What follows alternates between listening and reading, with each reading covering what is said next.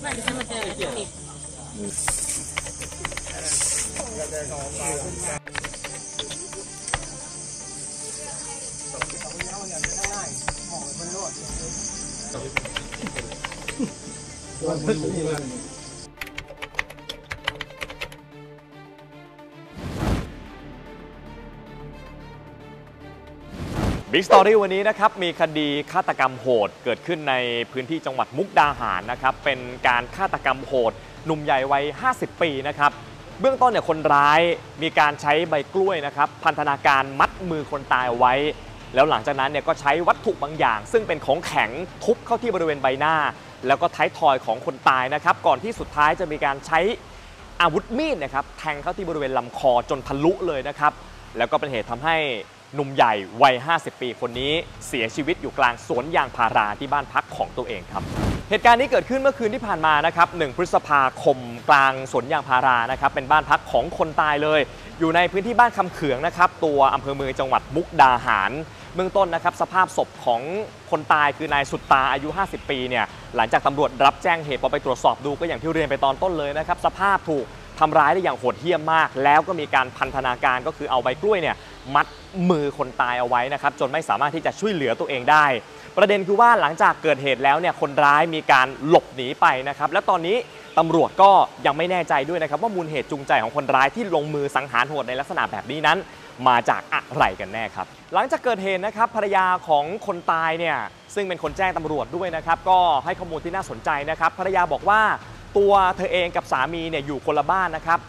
สามีอยู่ที่บ้านพักของเขากลางสวนยางพารา แต่ว่าตัวเธอเองเนี่ยไปหาแม่ที่บ้านนะครับ ซึ่งไม่ได้อยู่ห่างกันมากนะครับ ประมาณแค่ร้อยเมตรเท่านั้น เธอบอกว่าช่วงเวลาสักประมาณ1นึ่ทุ่มตรงเนี่ยได้ยินเสียงคนทะเลาะกันนะฮะซึ่งเสียงดังมาจากทางบ้านของสามีนั่นเองนะครับเธอบอกว่าได้ยินเสียงแว่วๆเหมือนมี 2 คนนะครับพยายามจะพูดคุยกัน คนหนึ่งเนี่ยเป็นฝ่ายที่พยายามจะถามอีกฝ่ายว่า มึงจะยอมกูไหม ส่วนอีกฝั่งหนึ่งเนี่ยก็พยายามจะตอบกลับไปว่าเออยอมแล้วยอมแล้วนะครับปรากฏว่าพอมีประโยคสนทนานี้เนี่ยเท่าที่ตัวภรรยาของคนตายได้ยินนะครับเขาบอกว่าหลังจากนั้นเนี่ยเสียงก็เงียบไปเขาบอกว่ามันเงียบไปจนเธอรู้สึกแปลกๆนะครับก็เลยตัดสินใจลงจากบ้านมากับแม่นะครับแล้วก็ไปดูที่บ้านของสามีผลปรากฏว่าไปเจอสภาพที่ใกล้จะเสียชีวิตคือนอนหายใจรวยรินแล้วนะครับแล้วก็หลังจากนั้นเนี่ยก็ หมดลมหายใจในเวลาต่อมาเสียชีวิตอยู่กลางสวนยางพาราที่บ้านพักเลยนะครับ เธอจึงตัดสินใจแจ้งความไปกับทางตำรวจนะครับ แต่ว่าสุดท้ายแล้วก็ยังไม่แน่ใจอยู่ดีนะครับ ว่าใครนั้นเป็นคนลงมือฆ่าสามีของเธอครับ คดีนี้ตำรวจไม่พบแรงจูงใจจริง ๆ นะครับ ว่าคนร้ายเนี่ย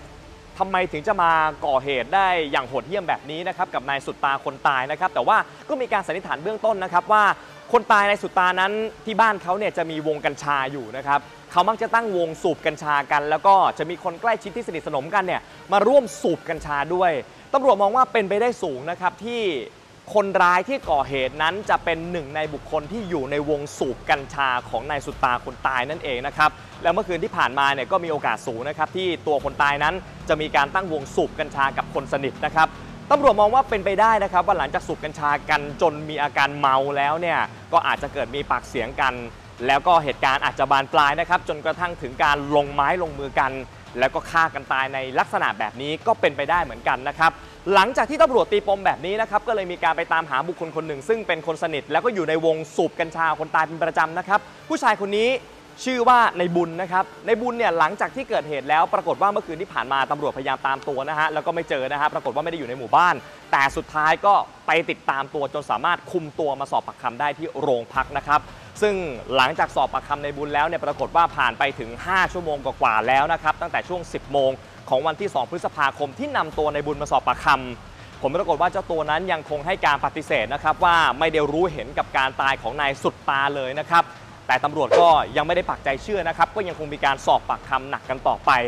คดีนี้สุดท้ายแล้วนะครับตำรวจยังไม่สามารถที่จะจับคนร้ายได้นะครับ ได้แต่ตัวผู้ต้องสงสัยเท่านั้นนั่นก็คือในบุญคนนี้นั่นเองนะครับ ซึ่งหลังจากนี้ก็คงต้องมีการสอบกันต่อไปนะครับ แล้วก็ต้องมีการนำหลักฐานต่างๆ ภายในพื้นที่เกิดเหตุนั้น มาตรวจสอบอีกครั้งหนึ่ง เพื่อหาคนร้ายที่ลงมือสังหารโหดหนุ่มใหญ่วัย 50 ปีคนนี้ให้ได้นั่นเองนะครับและนี่ก็คือทั้งหมดใน Big Story สำหรับวันนี้นะครับที่นำมาฝากครับ